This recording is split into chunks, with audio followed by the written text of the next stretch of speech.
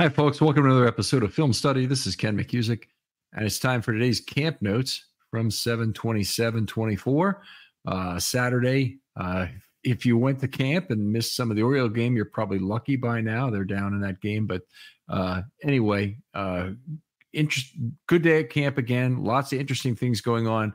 The most interesting by far was the return of Lamar Jackson, which we're going to talk about extensively in terms of uh, his play. He spent the whole practice, didn't miss any time, and and uh, uh, looked good after some initial rough stages. Uh, I would say, second straight practice in pads for the Ravens.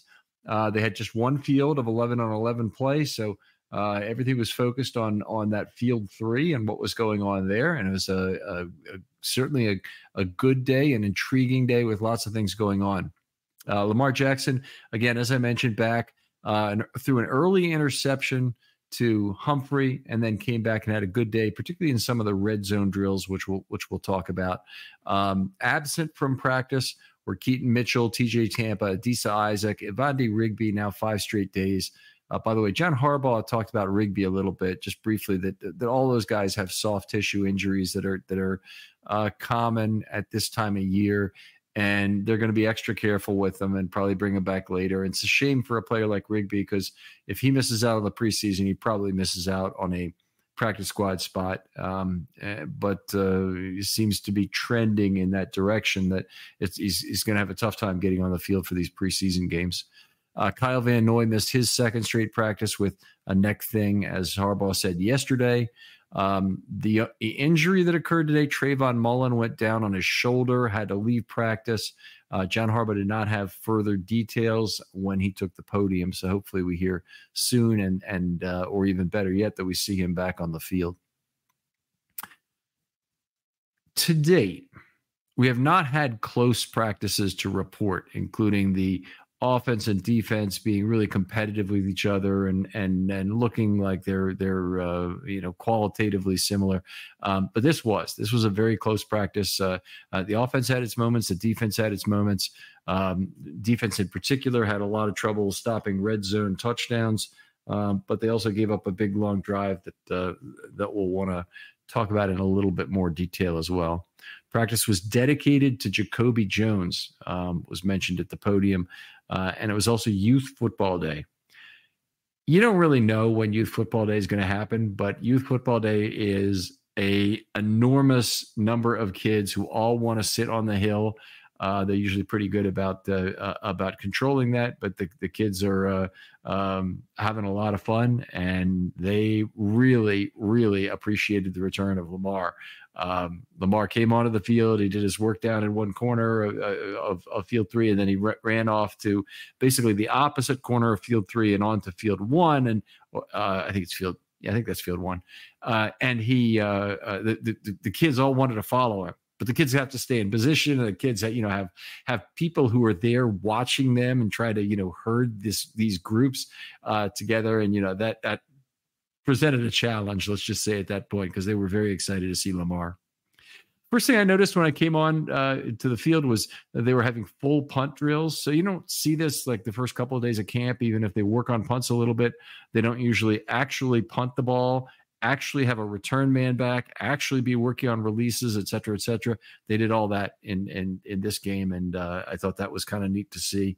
Um, I always look at a few of the return men to see who's doing two things well. The first is who's setting up under the football and tracking it well, such that they can put themselves in a position to explode out of their stance.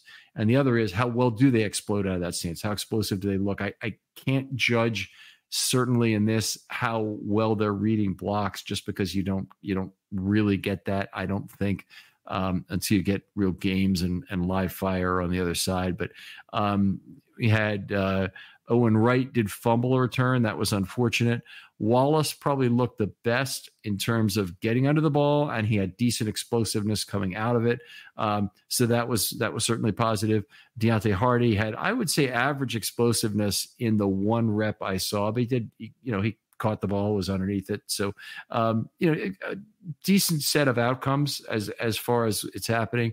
Um, they had one or two other guys who who actually took returns.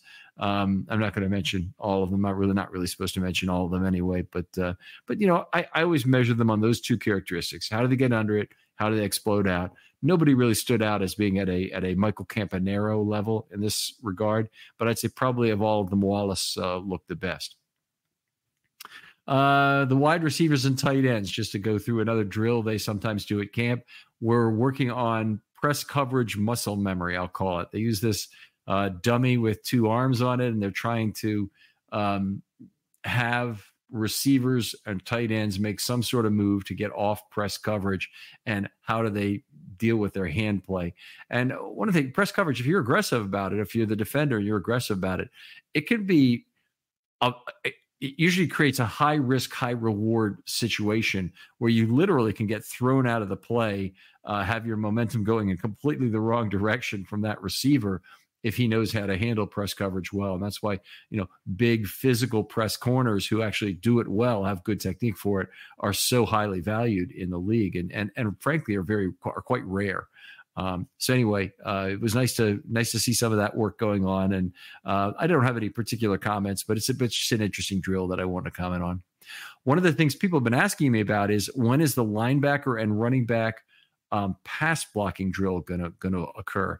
Well, I noticed it was happening basically same place it happened last year, middle of the field, and it wasn't exactly that. It was more of a coverage slash pass rush drill.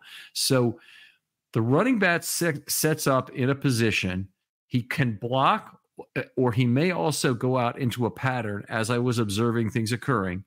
And the inside linebacker needs to be careful, try and recognize that, and not lose his one on one coverage responsibility on the running back. Now, the one I saw last year was very one sided in terms of the, the, the running backs had to block, had, had to execute pass blocks versus these linebackers, and that's a very difficult drill for for the running back. A very um, obviously the, the linebackers tend to be slightly bigger and advantaged in in that particular uh, element. So we didn't see that this year. This year it was the, the onus was more on the linebackers to be careful about where they were focusing their attention. So anyway, um, I did notice that that uh, Owen Wright had a pretty nice block uh, that he set up on Roquan Smith. Uh, Roquan may have just been playing a little careful, but he stayed kind of pressed against Wright and um, basically did not make progress towards the quarterback on the play, which I thought was probably a win for Wright. And then we saw Wright beat Deion Jennings on a wheel route. Now that's really good. When you do that in this drill, that's certainly something they're looking for. And if you look at all receiving routes for a running back, it's probably the most important that they can get a in, in terms of the ability to get a big play out of. You just lots of screen passes to running backs. Obviously, if you're Ray Rice, you, you might have more yardage than sorry, YAC than you have yardage in a year because your average reception is behind the line of scrimmage. So I'm not saying it's not important for a lot of backs, but the wheel route is a you know can be a devastating weapon when you get coverage from just a linebacker and could beat him uh, down that sideline. Malik Hamm had a nice good coverage of Collier uh, crossing the field. Uh, that was another one. I, I, you know, we're watching Malik Hamm closely. He's a guy who I think is is right on the fringe of making this roster. He's one of the really exciting prospects for these preseason games when they arrive. I'm sure he will get a lot of playing time, some in the first half, probably.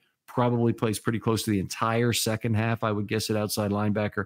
And he's a player I think, uh, you know, is really fighting for a roster spot at this point, has a real chance. Okay, so let's move on to the, the, the main event here, which is Lamar Jackson's return. And there is a lot to go over. I took notes. I tried to take notes on every time he was on the field for an individual um, drill seven on seven or 11 on 11. And there were a lot of them. So we're going to go through these just a moment after I get a drink of water here.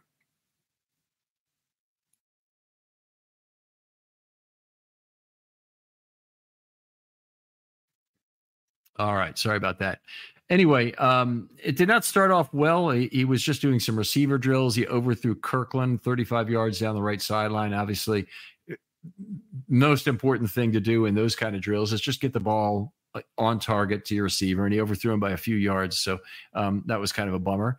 Um, then he had a seven on seven interception by Humphrey. And that was probably the low point uh, of the day for him. And uh, the ball overthrown slightly. Humphrey made the pick. And uh, uh Humphrey, by the way, is having a great camp. That was Jonas Shaffer and I were talking. I, he, he said that's his fourth pick of camp. He may, he may very well be right about that. But Humphrey's had a bunch of other PDs as well um, in the, what is it now, six days of camp so far. And you know, there's still a couple people out there looking for their first interception, most notably Brandon Stephens. And uh, uh, you know, he had a, a little struggle over a football trying to get interception today, but but Humphrey um, is is playing great football.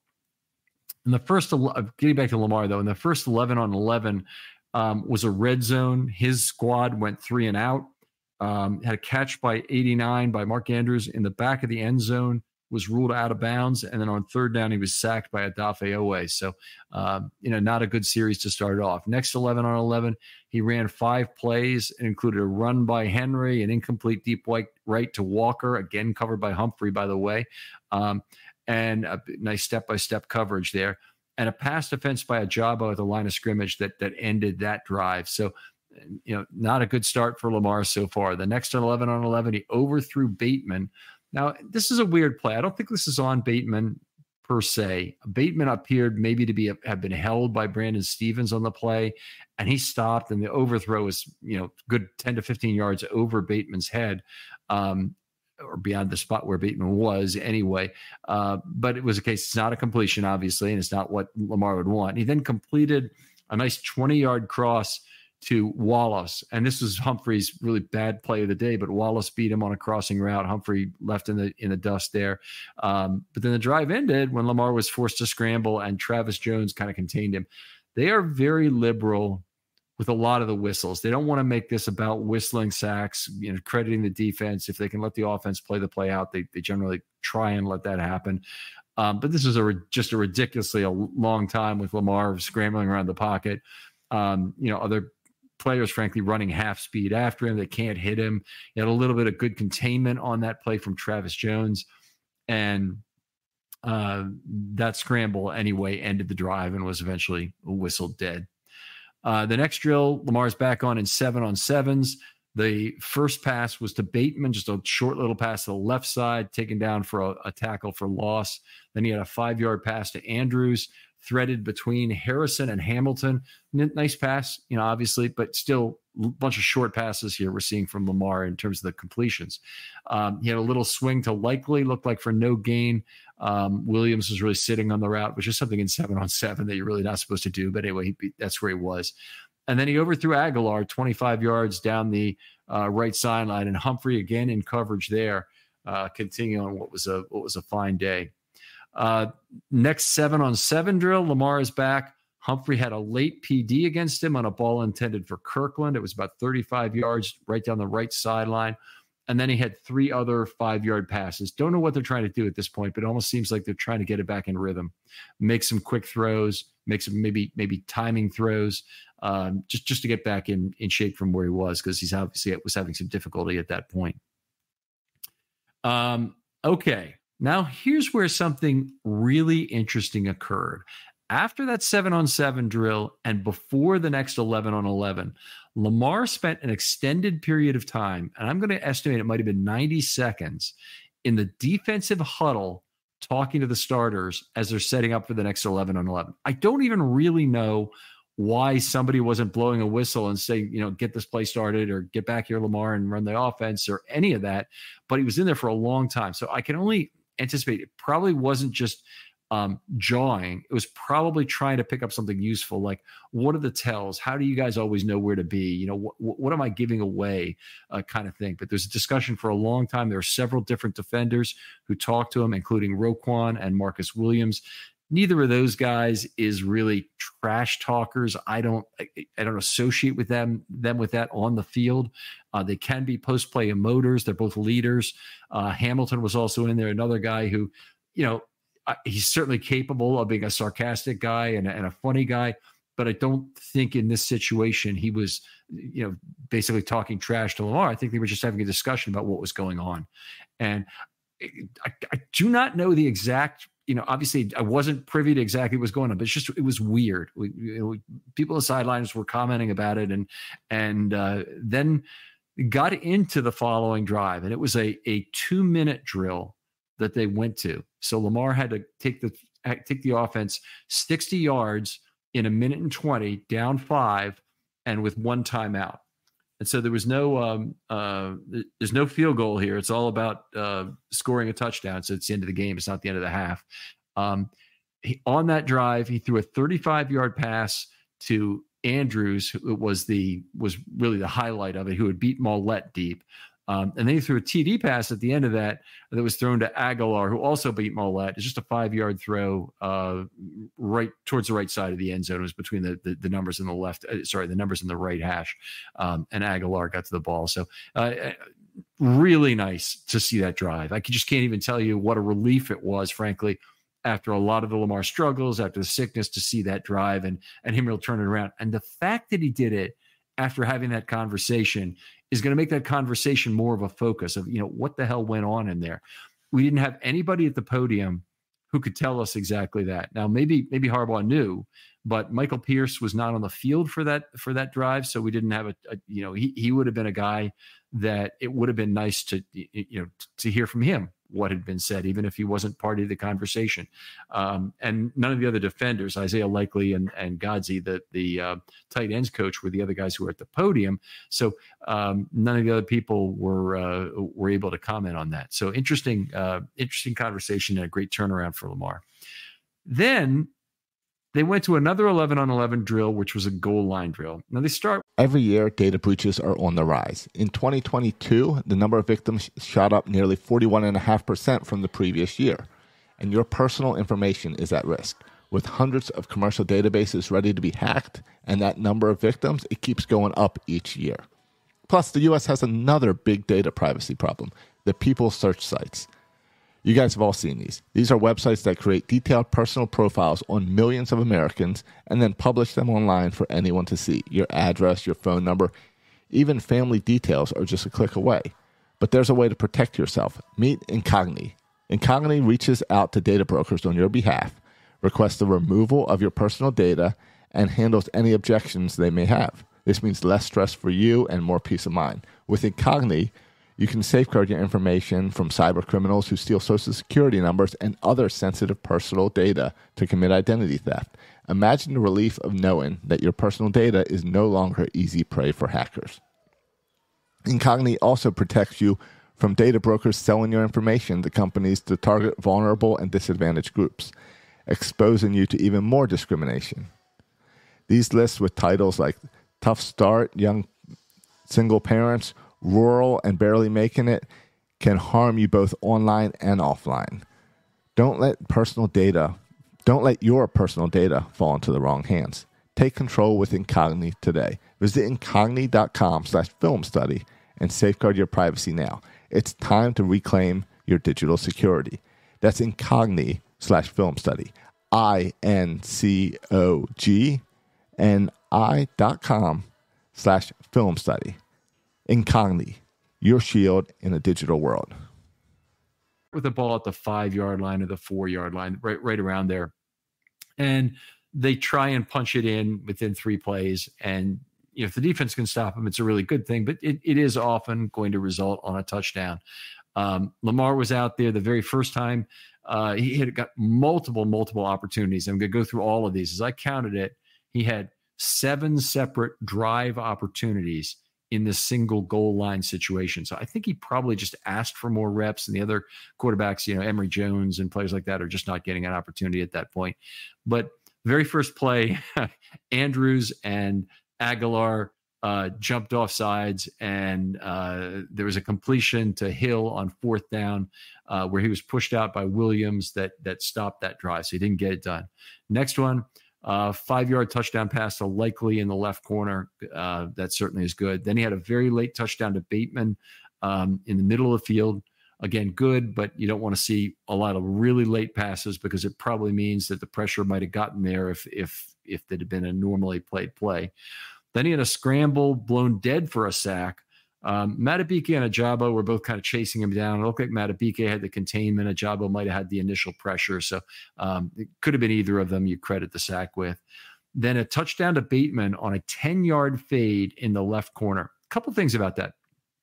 First of all, um, that is Bateman's normal side of the field, and you you would you would see him on that fade. Um, uh, sorry, uh, uh, catch a ball there, not unusually. What is really unusual is the Ravens throwing a fade pass at all, because that's not Lamar's thing. He's in the red zone. He's looking for a direct line of sight to snipe a uh, a target in the end zone uh, with a with a laser rather or, or, occasionally with a high zipper ball you know a ball between the the the hash marks that's up high where where uh, you know an Andrews or a likely might go up and get the football but it, it this this case it wasn't either of those it was it was just a what I would call a pretty normal timing fade route it dropped in there Bateman caught the ball and it got weirder because on the very next play Bateman's on the other side of the field exact same play, opposite side, fade route dropped right in there again, back corner of the end zone. Uh, you know, just the number of fades I've actually seen Lamar throw in his whole career is I could probably count on one hand. Um, just does not happen very often. Uh, and to have Bateman catch two in a row on consecutive plays was, was kind of cool, and, and having me on opposite sides was was nice as well. And then he had a touchdown uh, he threw to oh, it was 85. I always figured if Scotty Washington or Isaiah Washington because get it confused. This is Scotty Washington uh, for a touchdown. Uh, that was between the, the, the numbers and the left and the left hash in this case. So um, very good set of results. Had a lot of opportunities in total. Uh, to, to to play on that one particular drive. But his play and his touchdowns at the end of the um, uh, practice brought up the, the, total practice score to be very close. It was, it was like 34 33 or 34 32 kind of thing um, at the end. And I think the offense might have won, but it was very close anyway. Um, that's the day for Lamar. And honestly, I go to camp. I don't even know if he's gonna he's gonna be playing that day. He shows up. I was actually excited, you know, to, to see him. Look who's here, you know, kind of thing with Lamar. And then for him to play you know, as well as he did and on the trajectory of improvement throughout the day, I thought was a very positive thing. I think the Ravens are are breathing a big sigh of relief over the return of Lamar and, and the quality of his play. Let's go to the defensive side of the ball. It was a solid day for the defense, um, and that meant it was probably its worst day of the entire camp because the defense has dominated like we have not seen in years, um, really since the Suggs era where that defense was so amped up to play and Suggs had them playing at such a high rate.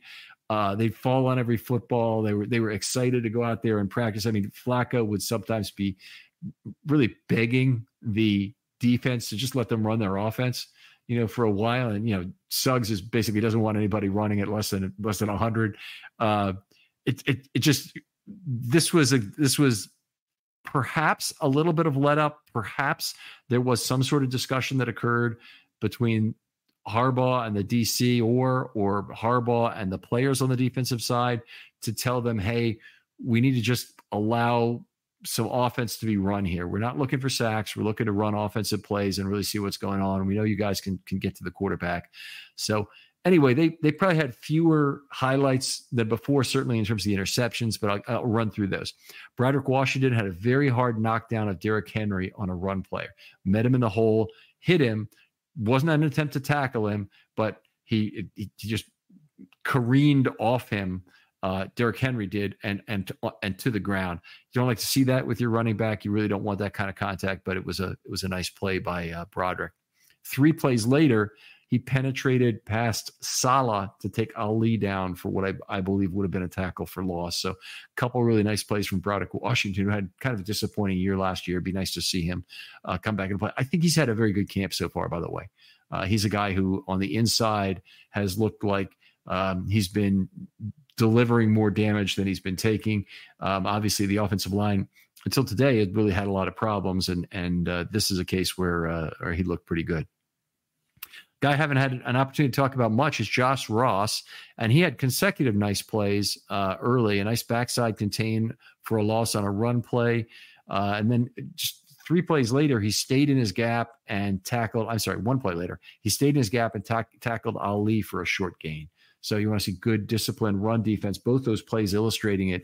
And uh, you know, Ross is a guy who's also on the fringe of making this team. Probably is a top of the practice squad guy, but definitely a guy that could be elevated for special teams, could be elevated to play linebacker, could be definitely a guy they look to uh, if anything were to happen to either of the starting inside linebackers. So uh, Ross, a key player, and, and, one of the guys I'll be looking to when I provide uh, notes of the preseason play. Odafe Oweh had another sack to end one of Lamar's series. I think I mentioned that earlier. Earlier, um, just he is an unbelievable force right now in terms of what he's doing on that football field. They're they're having to try and slow him down a little bit, but he's playing very well.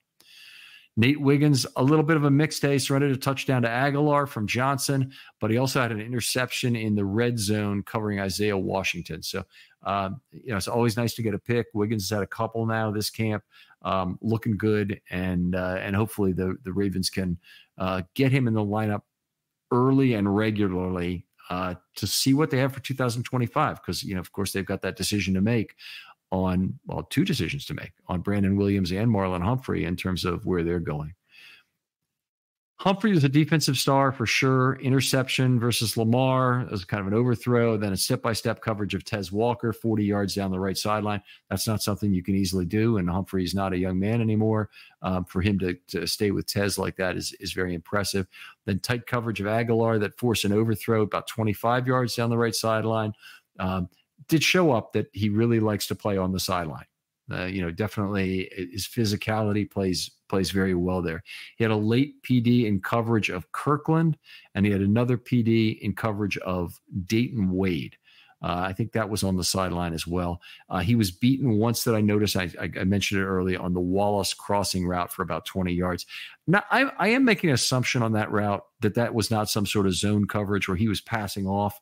Uh, it looked like he would have been the guy to continue coverage of Wallace on that play. Wallace was wide open, very nice throw and and uh, and catch by him to to look upfield and look for more yardage. David Ojabo had a pass defense at the line of scrimmage. It honestly looks like David Ojabo is playing pretty decent run defense to me too, turning the play inside more effectively, certainly than we'd seen last year in the preseason when he did not look good in that particular area. Um, but but also just a guy who who might be able to give you something on all three downs and not just in passing situations. So that's kind of exciting and, uh, and and good to see. We'll definitely be looking forward to that as the as the preseason games and the live fire starts. Eddie Jackson forced an incompletion in coverage of Sean Ryan. Sean Ryan been one of the good good uh, receivers in this camp.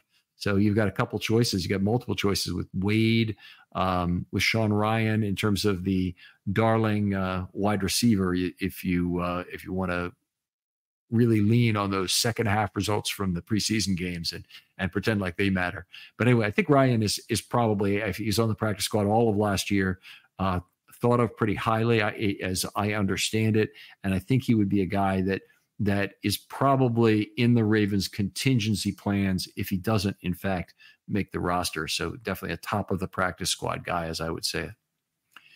Um, let's see what I want to say. Brandon Stephens, Um, he had a weird play. He and Tez Walker were on the left sideline and both appeared to catch the ball almost simultaneously and would neither would give the ball up. The officials did not step in and Stephens and Walker were, were on the ground for about 20 seconds struggling over the football.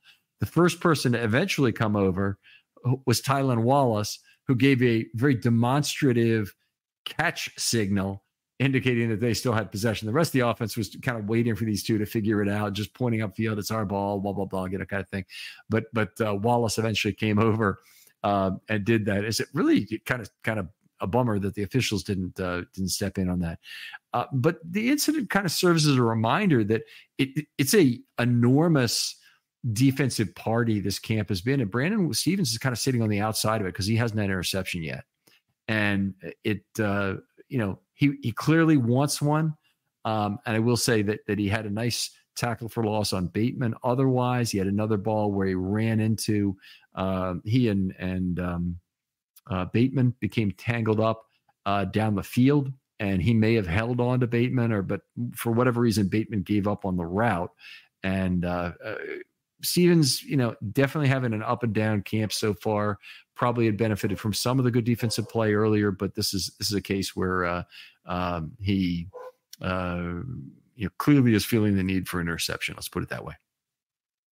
Ar'Darius Washington made a nice play for a pass defense coming over to assist on Malik Cunningham. Uh, unfortunately, also allowed a 35 yard reception to Scotty Washington down the left sideline. So uh, mixed results for Ar'Darius. Uh, I think we'll we'll probably see him take a variety of roles. If I had to guess during the preseason, I think we'll see him some at safety. I think we'll see him some at slot corner. Uh, actually, have not seen him too much at slot corner in camp to date. A little bit, but not too much. Um, but I think I think we'll see some of some of each from the uh, from in the first preseason game or in the in the preseason games as a as a group. All right, let's move over to the offensive side of the ball where there's a few interesting things going off. We always start off with the laps for the false start penalties. And we had a three bagger on one play with Emory Jones, Nick Samac, and Riley Sharp, the tight end, all going off for a or all taking a lap on the same play. Looked like they all took the full lap, which is something that I can't say for the next guy. Ben Cleveland again took a shortcut after a false start of his. And, and, this is it's a small thing, guys. I realize that, but it's also something just looks terrible. So, so the offense is playing from my right to my left as I watch field three. So if you're the stand, watches the field, the, the it's it's a right to left movement of the offense. Uh, I know Chuck Thompson always used to say the offense is moving from right to left across your radio dial, or something he would say on the, on the air on football games. I always thought that was funny. But anyway, the, the, offense is moving from from from my right to my left, and Cleveland's lap goes around the end zone that is the open end of the field for the offense, where they would score if if they had a play. And what does he do for the second straight day, or the second time in a row? He's had a penalty of that. He shortcut it and ran across the goal line instead of around the entire field of play, which you probably learned to do when you're running laps in seventh grade football you learn not to shortcut the, the the end zone in that way. So kind of looked like crap. But anyway, I thought Cleveland, by the way, has been quite effective as a run and pass blocker. So he doesn't need these other little things to get Harbaugh pissed at him, and you know, get, get him not uh, getting time on the field. Uh, uh, you know, he's he's probably the Ravens' best chance still to start at right guard this year, though he hasn't really been um, getting all the first team reps by by any stretch of the imagination. But we'll see how that breaks down. We did see, of course, Simpson replace Saleh after Saleh got a lot of first team reps uh, during last year's OTAs and preseason. So um, this is a this is a case where I think we'll um, uh, the switch will be made uh, at some point. It would would be my guess. And Ben Cleveland um, has looked pretty good as a blocker, even though he does not look particularly good as a lap runner. Um, the quarterbacks, none of them were as effective as Lamar. Um, and Lamar had most of his effectiveness late. Johnson did throw two TDs in one red zone drill, red zone drill. So the Ravens had some success offensively converting on those opportunities. Um, Nelson Agholor beat Wiggins for a five yard touchdown. Uh, again, right side, right, right edge of the end zone there, but uh, but beating Wiggins uh, is at least beating meaningful coverage there. Uh, Scotty Washington eventually got free for a touchdown on a very long uh, pocket time play, uh, so that was it's good. It's you'd, you'd like to beat it early, but hey, if if you want to be a, if you're going to be a receiver with the Baltimore Ravens, you want to be an extended play receiver. So go ahead and and uh, and and continue working on every play. Talked about the pass protection uh, being much improved. Harbaugh did praise the line for picking up more of the stunts and games that they were running. So I thought that was fairly telling. I just did notice that while there were a couple sacks still, um, the general preponderance was towards longer pocket time. Um, and and you know just more time for the quarterback to throw the football, which uh, you know helps to develop that passing game a little bit. I think that most of the other good receiving plays I probably mentioned under Lamar's throws. So I'm not going to go into all of those, but that's going to be it for the for the camp notes today. Uh, another real nice day at camp. Um, uh, the kids were really enjoying it, and uh, they made the autographs on the opposite side of the field. So they didn't try and move the kids from the position where they had them sitting, where they might have gotten all kinds of lost and not gotten back on the correct buses, you know, potentially, um, they, they they brought the autographs to the kids, which by the way I thought was a great practice that that they ought to continue anyway because sometimes you're in that corner and you you just can't hear it all with all the amount of screaming that's going on from the fans, you know, begging for autographs there. So, uh, great day at camp anyway, not too hot and uh, and a lot of fun. And again, I'm sorry, it looks like it's much better than the Orioles game at this point, but uh, hopefully that'll get better in the last few innings. We'll talk to you next time on Camp Notes. Thank you.